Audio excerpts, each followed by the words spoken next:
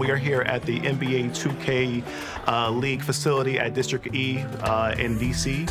And today our students are getting a chance to see the behind scenes tour of the facility. So our students are going to be able to participate in an esports panel and ask some cool questions about careers in esports and women empowerment. Be able to network with some of the NBA 2K League players and coaches. Hi, I'm Tyshawn Haygood. I go to Morgan State University and I'm president of the esports organization. What we do is we partner with students at our school to kind of give them the opportunity to play esports and gaming and maybe earn like scholarships so that they can advance their education as well. I saw a lot of good things from these guys today.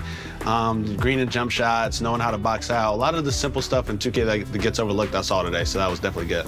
I'm gonna read up my panelists now. You guys wanna come up? Brandon, Alyssa, Jack, Excited to be here, excited that you guys are here. And we had the, the students from Morgan State University's esports program. They came in, we talked about careers in esports, we talked about women's opportunities in esports.